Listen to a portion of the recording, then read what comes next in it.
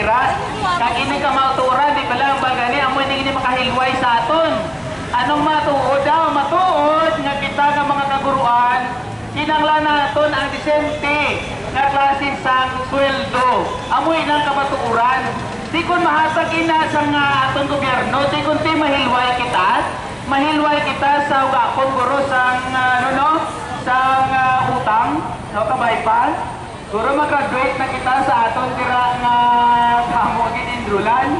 So musta ko silang na indrulan nyo, pero basta ako di, di ko lang pa isugit, pero parang lang sa satos guro kon kon universidad sa pulutangan ng paghahambalan.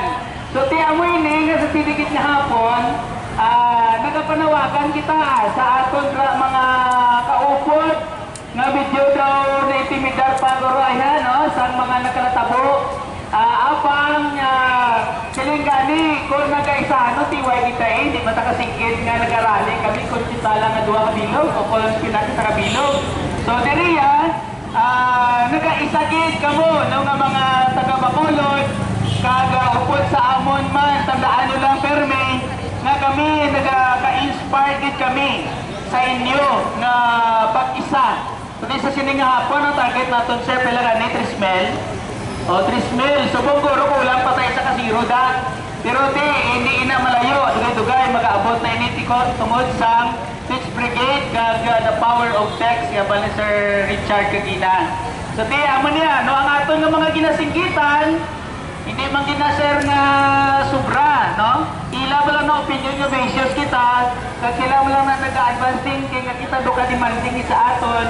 Pero kung balikan nila ang 47 district, ang Magna Carta of Public School Teachers, kung balikan nila ang Bill of Rights, saligang batas nato, ako sa atong konstitusyon, kag kung balikan nila ang ginabako naton nga train law nga daw hindi igit naton ini ma mapalagyuhan kay gusto na to sa hindi mga kauturan ng mga biyan amo gid ini siguro ang makapaimol sa aton. Kung sa bagay hindi naman ta mag-imol guro no? Kay daw imol naman ta daan.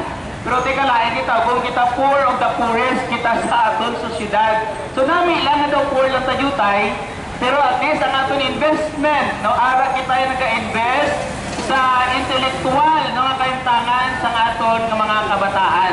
Amo ginabula permi nga we cannot reconcile sa idea nira nga ang may mga ang aton nga mga programa sa gobyerno naton nga ka hindi bala sakto. Nga sa totoo lang mga maalam minadira sila tanan.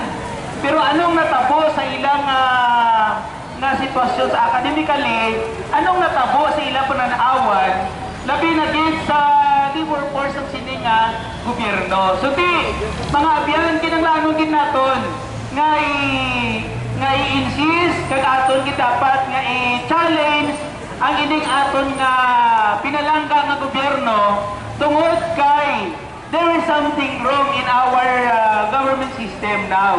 Di hindi nakataro man guro makasalik sa iba no nga mga sektor. Hindi na kita guro makasalik sa ibang pada nga mga mga profesyon nga magtindo uh, kag mag-edukar sa susyudad pareho sini.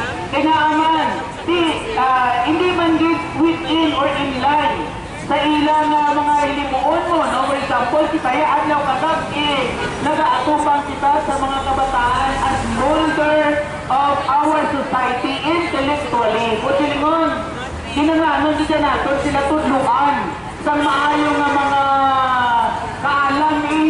Kung tunukot sa plagani subuong nag-degrade o kung nag-deteriorate, ang aton nga ano no, uh, educational system, sabi naging